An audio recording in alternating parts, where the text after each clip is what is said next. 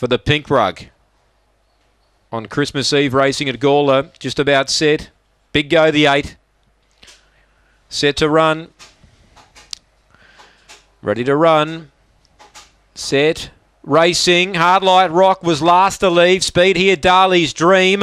Uh, it's getting tight. Moving up was Victor Roz and Goose Buzz, and back on the inside, Junior Tyson. They're clear of Chief Bothing, Bluey Rocks.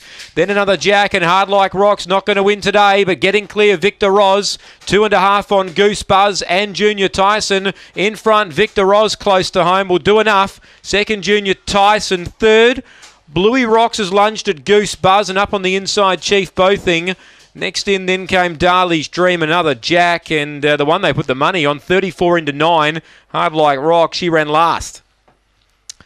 So uh, the winner five, Victor Roz, Robin McKellar, too good for these today. One Junior Tyson, and seven Bluey Rocks grabs third ahead of six Goose Buzz, five one seven six.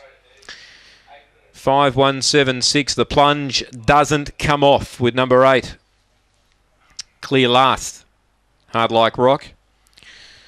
As I said, she'd been in the market her first two race starts, so she's obviously done something. 23.25 the time, five the winner, one second. Junior Tyson, seven Bluey Rocks and six Goose Buzz. Five one seven six. One and a half by three.